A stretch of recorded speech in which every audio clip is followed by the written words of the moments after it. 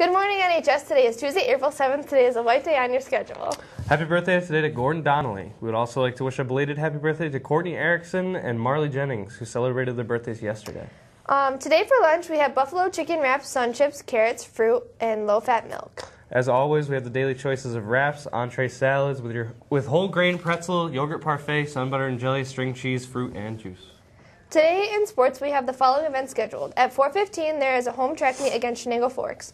There are home varsity baseball and varsity softball games today at 4.30 against Susquehanna Valley with the JV baseball and softball teams traveling to Sus Valley. Field conditions may prevent any of these games from being played. Determinations over the next few weeks will be made on, on a day-to-day basis. Please see coaches or stop in at the athletic office for the current status.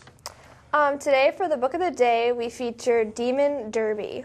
She survived cancer, but can she fight the Demon Derby girls? Set in the world of, of roller derby, the new novel from Carrie Harris is perfect for Buffy the Vampire Slayer fans and for anyone facing their own demons, inside or out. Check it out in the NHS library today.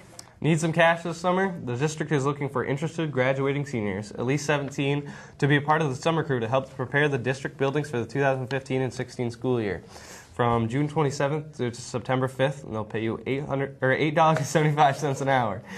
The district is also looking for interested juniors and seniors to be monitors for the after-school latchkey program at Stanford Gibson in 2015 and 16 school years, and they'll pay $10.35 an hour.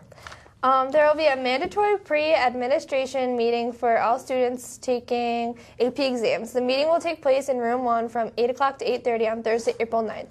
Attendance is mandatory. Please bring a number 2 pencil and your social security number with you. Do not be late. Have a great day, NHS.